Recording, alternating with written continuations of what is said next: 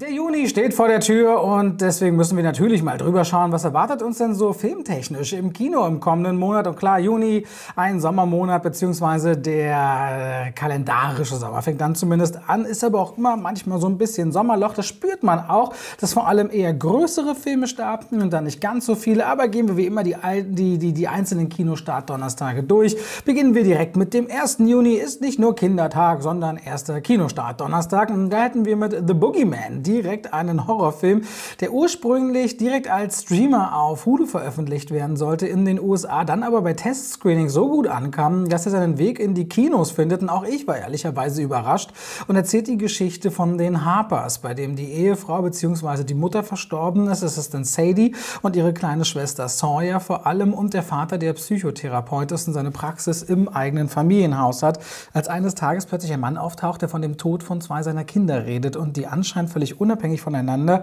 von einem Wesen, der irgendetwas berichtet haben. Und als dieser Mann auf seine eigene Art und Weise dieses Haus verlässt, bleibt anscheinend etwas Böses zurück. Das ist The Boogeyman und tatsächlich ein Film, der mich, meine Reviews dazu schon online, hier und da richtig gut gekriegt und erschrocken hat. Dann ebenfalls ab dem 1. Juni freue ich mich wahnsinnig drauf. Spider-Man Across the Spider-Verse. Der erste Teil war großartig von der Animation, hat den Oscar gewonnen damals, hatte einfach rund um Miles Morales, der in Brooklyn lebt und ähm, das Leben als Spider-Man kennenlernt, die freundliche Spinne aus der Nachbarschaft. Äh, so viel Energie, frische, kreative Kraft in so einem Comic-Look inne, dass ich mich jetzt hier auf die Fortsetzung freue. Inzwischen weiß Miles Morales um seine Kräfte, aber das Multiversum wurde ja auch entdeckt und das gilt es zu beschützen. Und gemeinsam mit Gwen geht es eben darum, dieses Multiversum vor einem Bösewicht zu retten. Nur andere Spider-People, von denen es anscheinend nicht bloß ein paar gibt, sondern Dutzende oder gar Hunderte, mit denen kann man sich nicht so richtig einigen, was ist der richtige Weg dazu. Und so werden aus Gwen und aus Miles anscheinend selbst auch Gejagte. Ich freue mich sehr drauf, was Spider-Man Across the Spider-Verse dann kann. Und ebenfalls ab dem 1. Juni noch ein Horrorfilm, nämlich Ty West's Pearl.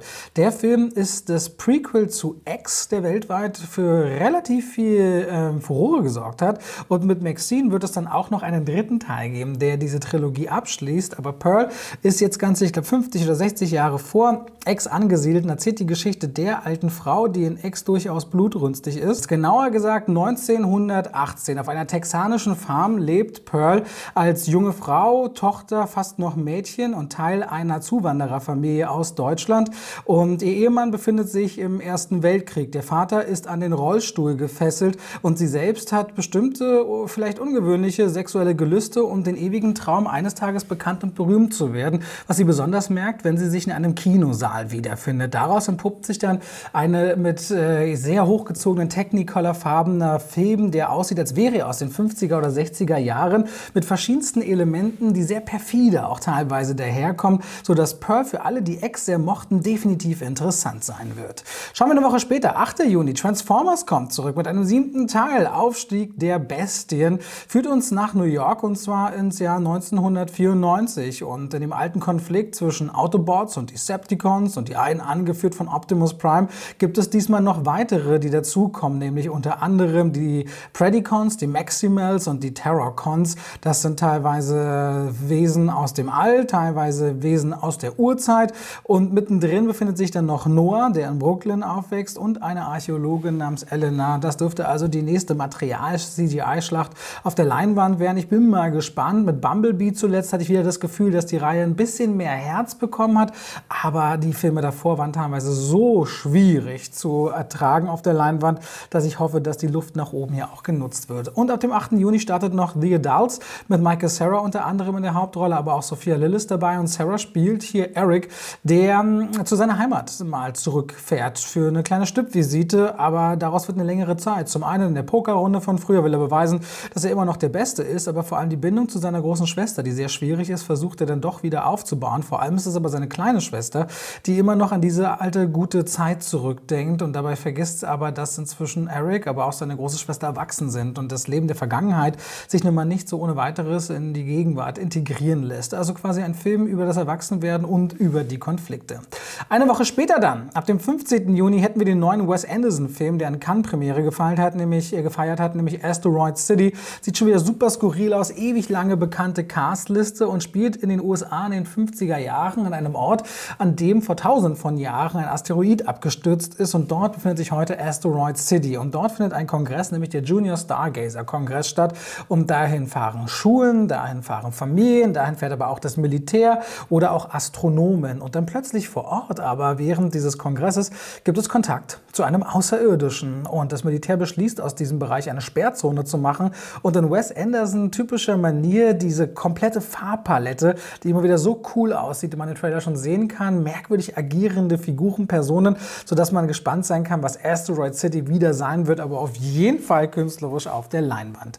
Ebenfalls am 15. Juni hätten wir dann mit The Flash das Kapitel aus dem DC Extended Universe noch rund um Barry Allen. Der ist inzwischen Kriminalermittler in Central City, Teil der Justice League, aber seine Fähigkeiten, durch Raum und Zeit auch reisen zu können, mit seiner Geschwindigkeit nutzt er, um in die Vergangenheit zurückzukehren, um den Tod seiner Mutter zu verhindern und die Unschuld seines Vaters zu beweisen. Aber dabei verändert er Dinge, sodass er dann in einer äh, Welt landet, in der General Zod die Welt zerstört und die Justice League so nicht existiert. Es gibt einen Batman, einen anderen, den er kennt, anscheinend Supergirl, aber vor allem eben nichts, was man General Zod so wirklich entgegenstellen kann, basiert lose dann anscheinend auf der Comic-Plotline von Flashpoint. Und ich mag die Trailer, bin dementsprechend gespannt. So, dann noch eine Woche später, am 22. Juni, hätten wir den neuen Pixar-Film Elemental. Auf den bin ich sehr gespannt, der das Cannes Filmfestival dieses Jahr abgeschlossen hat und erzählt die Geschichte von Amber und Wade. Die leben beide in Element City. Amber ist ein Feuerelement, Wade ist ein Wasserelement und natürlich gibt es auch noch Luftelemente, genauso wie Erdelemente. Und es gibt im Grunde eine Regel in Element City, man vermischt die Elemente nicht miteinander. Aber beide lernen sich kennen und tauchen in den verschiedenen Welten ab. Und im Grunde ist es dann eine Geschichte über Wartung der Eltern, Eltern, Emanzipation, Dinge zu hinterfragen und kennenzulernen. Es hat immer was sehr Schönes, finde ich, wenn man entdeckt und diese Neugier in sich hat und sich fragt, warum können Wasser und Feuer nicht auch zusammen existieren? Das ist Elemental und sieht schon so wahnsinnig kreativ aus in den Trailern. Halt ein Pixar-Film. Und ebenfalls ab dem 22. Juni gibt es mit No Hard Feelings noch einen neuen Film mit Jennifer Lawrence in der Hauptrolle. Die spielt hier eine Uber-Fahrerin namens Maddie, die im Grunde bankrott ist. Ihr Ex-Freund, der auch noch Abschleppfahrer ist, fändet ihr Auto. Sie hatte kein Geld, sie droht das Elternhaus zu verlieren und stößt dann aber auf eine Jobanzeige, in der sie im Grunde ein Auto bekommen kann, wenn sie ein Date eingeht. Das sind nämlich zwei Helikoptereltern, die versuchen, ihren Sohn zu vermitteln, bevor der nach Princeton an die Uni geht und damit der Ersterfahrung mit Frauen hat. Und so ist Maddie im Grunde angeheuert, ihm ein wenig näher zu kommen, versucht nach allen Künsten, ihn zu verführen und das gelingt. Percy heißt er, Maddie aber gar nicht so einfach und das ist dann No Hard Feelings. Mal gucken, ob der was kann. Und dann schließen wir den Juni noch ab. Ab dem 29. Juni hätten wir natürlich mit Indiana Jones und das Rad des Schicksals den neuen Indiana Jones Film. Da werden sich viele Fans darauf freuen. Geht ins Jahr 1969. Es geht in die Zeit des Kalten Krieges, das Wettrennen der Sowjetunion und der USA um die Landung auf dem Mond. Aber auch die USA, die sich entscheiden, mit Nazis teilweise dafür zusammenzuarbeiten, um bei dem Mondlandungsprojekt Know-how ähm, äh, zu erlangen. Und mittendrin eben Indy, der dann doch nochmal zu Hut und Peitsche vielleicht greift. Schauen wir mal, was der kann. Ähm, ich bin ehrlicherweise ein bisschen skeptisch. Dann hätten wir mit Get Up ab dem 29. Juni noch einen Film mit Lisa und Lena in den Hauptrollen, die bekannten Zwillinge.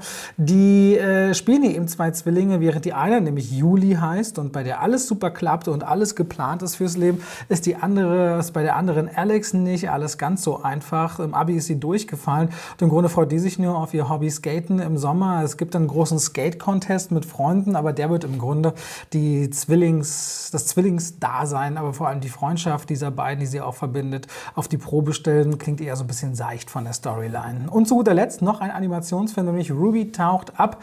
Ein Film von DreamWorks, in dem es um die Teenagerin Ruby geht, die in einer Stadt am Meer in Florida lebt und ihre Familie, der kommt sie nicht so gut klar, wie eben Teenager sind. Denen ist immer alles peinlich, was die Eltern da so machen. Aber es gibt schon eine Besonderheit bei Ruby in der Familie, denn sie stammt von Seemonstern ab und deswegen darf sie auch nicht ins Wasser, sie darf mit Freunden nicht am Strand liegen. Sie hat es an der Oceanside High School ziemlich schwer, aber sie ist eben auch neugierig und dementsprechend wird es dann doch zu Enthüllungen kommen und wie man dann damit umgeht, ist die Frage. Das ist Ruby taucht ab und da hätten wir neben Elemental noch einen Animationsfilm, wo ich gespannt bin, was der kann. Und damit war das der kurze kleine Ritt durch den Juno. Die Kinostart Donnerstage, eher tendenziell größere Filme und dafür nicht ganz so viele und ich hoffe, da ist was dabei, wo ihr sagt, oh, finde ich eigentlich ganz spannend, wäre wie immer das Sinnvollste an diesem Video. Und ich bedanke mich an dieser Stelle fürs Reinschalten und wünsche euch ganz viel Spaß im Kino.